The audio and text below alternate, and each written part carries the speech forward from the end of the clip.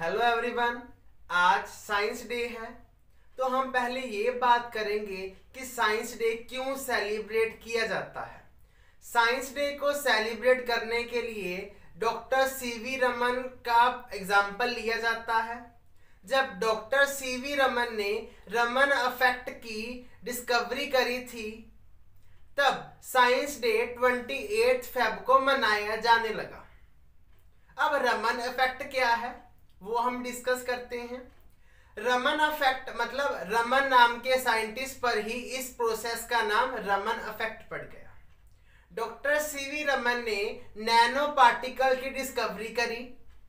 उस nano particle की help से इंजेक्शन लगा दिया।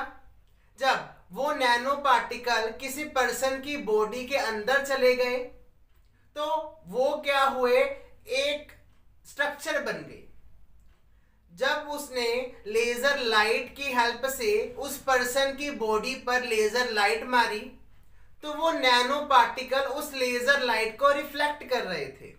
अब वो नैनो पार्टिकल लेजर लाइट को रिफ्लेक्ट क्यों कर रहे थे? क्योंकि वो वो कैंसर के सेल बन गए थे। मतलब क्या है इसका?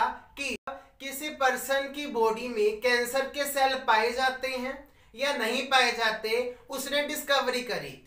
इसकी डिस्कवरी के लिए 1930 में इनको नोबल प्राइज भी मिला। डॉक्टर सीवी रमन बहुत बड़े साइंटिस्ट थे। जब डॉक्टर सीवी रमन ने इंजेक्शन की हेल्प से नैनो पार्टिकल को किसी पर्सन की बॉडी के अंदर भेज दिया, वो नैनो पार्टिकल ने क्या किया?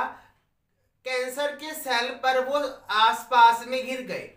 उसने घेरा बना लिया कैंसर के सेल के ऊपर। जब लेजर लाइट पास की गई उस पर्सन की बॉडी के ऊपर तो वो नैनो पार्टिकल कैंसर के सेल पर क्या कर रहे थे? लेजर लाइट को रिफ्लेक्ट कर रहे थे। मतलब रमन इफ़ेक्ट की डिस्कवरी इसीलिए करी गई ताकि किसी पर्सन को कैंसर है या नहीं है पता चल सके।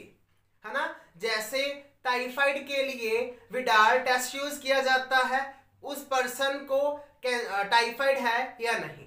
ठीक है? तो ये थी डिस्कवरी जो सीवी रमन ने करी थी ट्वेंटी एथ फेब को। इसीलिए उनको नोबेल प्राइज मिला 1930 में। तो इसी वजह से ट्वेंटी एथ फेब को साइंस डे मनाया जाता है। तो आज मैं आपको साइंस डे की पोइम सुनाने जा रहा हूँ। ठीक है? तो स्टार्ट करते हैं। एडिसन ने बल्ब बनाया ग्राहम बेल ने फ़ोन पहिए को किसने खोजा, हमें बताए कौन?